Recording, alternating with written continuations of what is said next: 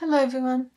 In this video I'm gonna show a new counting activity, okay, for you to apply with your kids. It's just, it's very simple. You just need to have the numbers uh, handwritten or you can just print. And you need to have some objects. Here I'm gonna use some blocks, but you can use anything that you have uh, available, okay, buttons, stones, anything that you have available. In this video, I'm gonna show 1 to 5 that you can apply for the youngest kids. And in the second video, I'm gonna show 6 to 10, okay? So this is really simple. You just need to prepare the numbers for the kids. If you have this number read, that's fine. Any way you want. So you just need to show the kid the order of the numbers. So you need to show them to put one first and then put just one block okay. The colors here I'm not uh, doing any sorting because it doesn't matter. For this activity you can use any color. So two put two blocks. One two three.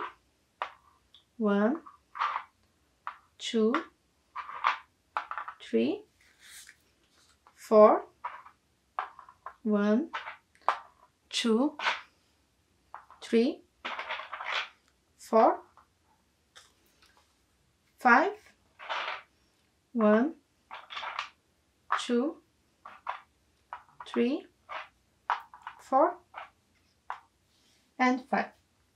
And that's it. When the kids uh, finish, you ask them to show you, okay, so you can check if they did right. If they didn't, you need to ask them to fix by themselves, okay? The most important is for you to have the exact number of pieces in the container that you're gonna give them because on this way they can uh, easily check if there is something wrong. For example, if there is something extra here or some some piece missing, they're gonna figure out there is something wrong. Okay, so that's you should give them the exact numbers of pieces in the container. So that's it. When they finish, you show them how to clean up. So put everything back the same container.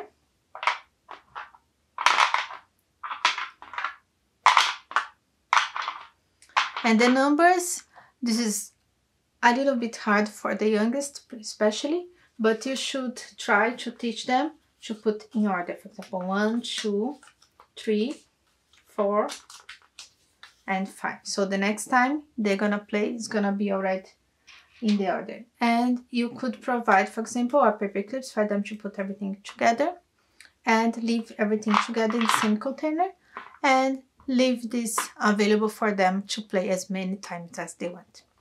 Okay, so that's it for this video. In the next video, I'm gonna show 6 to 10. Thank you so much for watching.